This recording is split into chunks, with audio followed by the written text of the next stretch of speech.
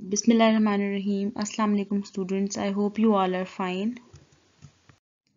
आज हम करेंगे पेज नंबर 22, 25 और 26 वर्कबुक का।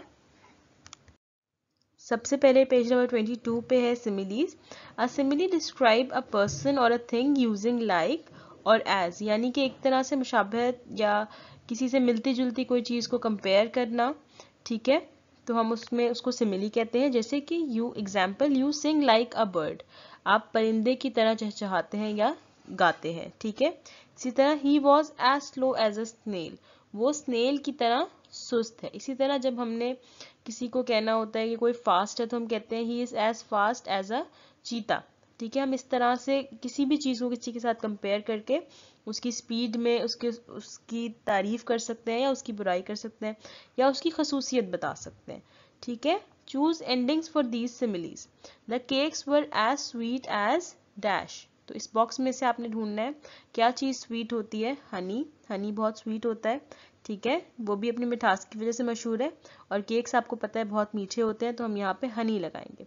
The sea was as blue as the sky कि समुंदर पानी की तरह नीला है। The drinks were as cold as ice जो ड्रिंक्स हैं, वो इतनी ठंडी थी, बिल्कुल बर्फ़ की तरह। जिसे हम कहते हैं ना कि बर्फ़ की तरह ठंडा पानी था या इस तरह से। My sister squeaked like a mouse squeaked होता है कि छोटी सी जो हल्की सी आवाज़ करना या विस्पर जैसी आवाज़। My sister squeak squeak like a mouse चूहे की तरह। Her eye sparkled like diamonds उसकी आँखें जो है वो चमक रही थी हीरो की तरह। Mummy dress was as red as blood आपको पता है खून का रंग लाल होता है, गहरा, ठीक है? सुर्ख होता है तो हमने ये उससे उससे कंपेयर किया है, ठीक है? इतना लाल था, बिल्कुल खून की तरह लाल था।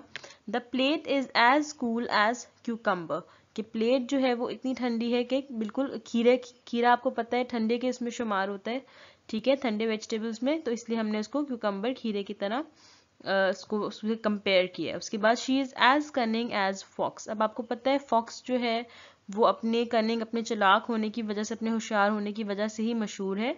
तो हमने यहाँ पे उसको कहा कि वो वो बिल्कुल लोमड़ी की तरह चलाक है। This baby is as light as feather आपको पता है फेदर जो होता है, जो किसी एक बर्ड का कोई फेदर होता है, ठीक है, कोई पर होता है तो कितना लाइट होता है। तो उससे हमने उससे कंपेयर किया है कि बेबी का वेट नहीं है, बिल्कुल भी बहुत हल्का है। The baby is as light as feather the floor is as hard as rock जो ज़मीन है, वो इतनी सख्त है, जैसे कि कोई पत्थर, ठीक है? अब पेज नंबर 25 पे है अपोस्ट्रोफीज अपोस्ट्रोफीज क्या होती हैं? जो किसी वर्ड के साथ ऊपर कोई एक छोटा सा हम इन्वर्टेड कॉमा के एक वो लगाते हैं कॉमा टाइप ऊपर की तरफ़, उसको हम अपोस्ट्रोफी कहते हैं.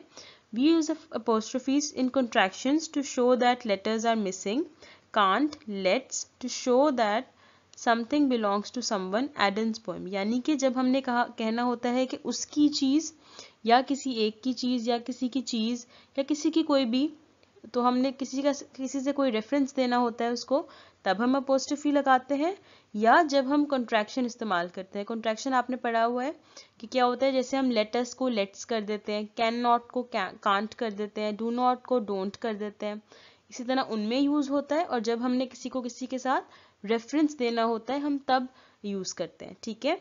जैसे कि rewrite the sentences using a contraction in each one let us march and dance तो लेट अस को हम कॉन्ट्रैक्शन में क्या कर देते हैं? लेट्स तो हम अपोस्टिफी एस लगा देंगे। Let's march and dance it is independence day it is को भी हम कॉन्ट्रैक्शन में करते हैं।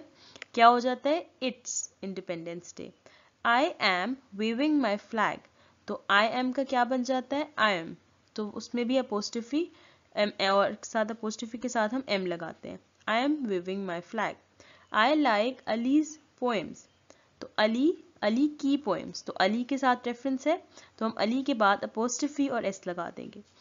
ठीक है? I like Ali's poems it's labour day today तो इट इज़ का क्या आ जाएगा? इट्स बन जाएगा। ठीक है? इट्स लेबर्स डे टूडे ठीक है? I can sing Pakistan national anthem तो पाकिस्तान का नेशनल एंथम पाकिस्तान के साथ रेफरेंस है तो पाकिस्तान के साथ अपोस्टफी एस आ जाएगा।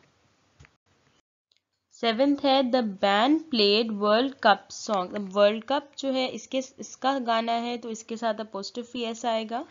We went to mister Bilal's house तो क्या आएगा? We went to mister Bilal के साथ अपोस्टफी एस आएगा और हाउस उनका घर है।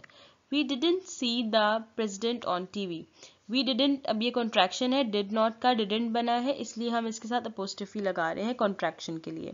We didn't see the president on T V it's my birthday today तो इट इज़ के साथ को हमने शॉर्ट किया है इट्स के साथ तो इसलिए इसके साथ भी अपोस्टफी एस आएगा।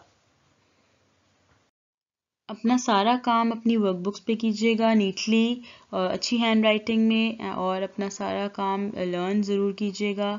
And stay home stay safe thank you अल्लाह हाफिज़।